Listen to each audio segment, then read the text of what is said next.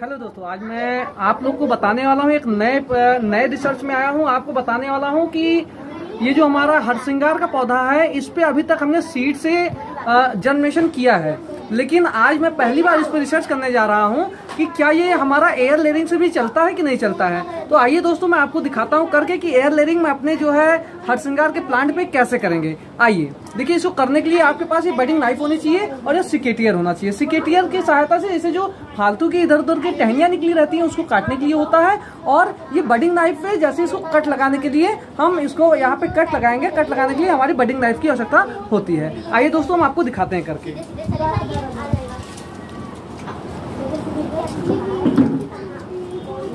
सबसे पहले हम क्या करेंगे दोस्तों, ये हमारा जो क्या नाम है, देखिए, ये हमारा नोड रहता है, और इसके बीच में इंटर नोड रहता है। पास आउट यहाँ तक। देखो, ये हमारा नोड है, ठीक? और ये हमारा, ये दोनों बीच का इंटर नोड है, ठीक है? दोनों नोड के बीच में जो होता है इंटर नोड होता है, इसी के हमें ग्राफ्टिंग करना रहता है, ठीक? इसकी जो ग्राफ्टिंग हमको जो यहाँ पे कट मार्क लगाने हैं, जो ऊपर की लेयर निकालना है हमको, ठीक है? ये केवल हमको मात्र आधी इंच ही निकालना है। आधी इंच से अगर हम ज़्यादा निकाल लेंगे तो प्लांट सूखने के चांसेस ज़्यादा हो सकते हैं, ठीक? तो हमने देखिए, यहाँ पे हम निकालते हैं देखिए, ये हमारा प्लांट का जो है निकल चुका है। ठीक, पहला लेयर निकल चुका है। अब हम इसके ऊपरी हिस्सा में लगाएँगे। अब हम इसके ऊपरी हिस्सा में रूटेक्स हार्मोन्स लगाएँगे। और रूटेक्स हार्मोन्स जो लगाएँगे, वो पीपीएम मात्रा में लगाएँगे, जिससे क्या होता है कि हमारा प्लांट सूखने ना पाए।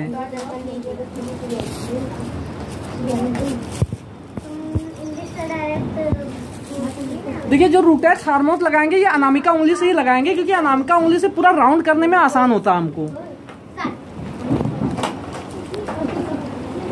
रूटेक्स हार्मोन लगाते समय एक बात का ध्यान ज़रूर दें कि जो हमारा अंदर का जो भाग है, जो जाइलम के अंदर, जो जाइलम अंदर दिख रहा है, इस पे हमारा जो है रूटेक्स हार्मोन ना लगने पाए। अगर इस पे लग जाएगा तो बिल्कुल ये सूख जाएगा। अब ये हमारा लग चुका है इस पे रूटेक्स हार्मोन अब हम इस पे क्या करेंगे? इस पैगमम घास इस पे हम बांधेंगे।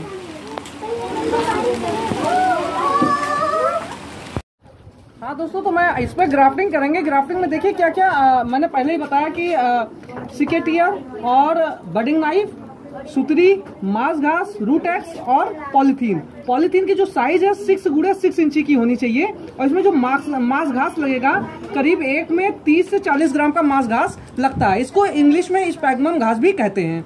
आइए देखिए हमारा कटा हुआ भाग है। इसके ऊपर हम क्या करेंगे? अब ग्राफ्टिंग करते हैं। ग्राफ्टिंग का करने का तरीका देखिए आप। इसको अच्छे से ऐसे इसी तरीके से दबाएँगे हम। और दबाने के बाद इसको इस तरीके से फोल्ड करेंगे, पकड़ेंगे। और पकड़ने के बाद इसको दोनों तरफ़ में थोड़ा सा पॉलिथीन को सही करेंगे और इसको फोल्ड करेंगे ऐसे बीच से। बीस से फोल्ड करने का कारण है ताकि हमारी पॉलिथीन और मांस घास अच्छे से टाइट हो जाए। इसके अंदर अगर एयर चलेगी तो हमारा ये आ, जो एयर लेयरिंग में कर रहे हैं हम कर रहे हैं ये हमारा चलेगा नहीं। और साइड साइड से इसे प्रेस करके दबा करके उसके बाद हम इसको इसी तरीके से पॉलिथीन से इसको अच्छे से बांधेंगे।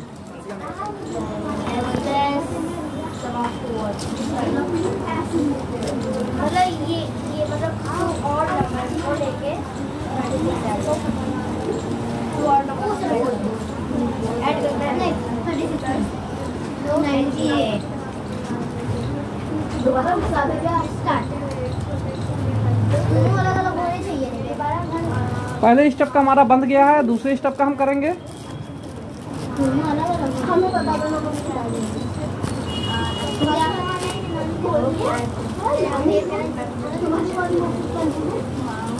और नंबर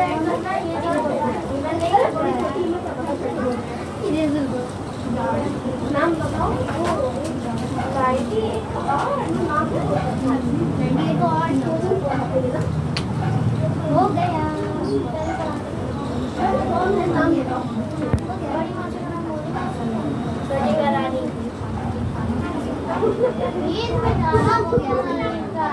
ये आप देख सकते हैं एयर लेयरिंग बंद करके बिल्कुल तैयार हो गया हमारा।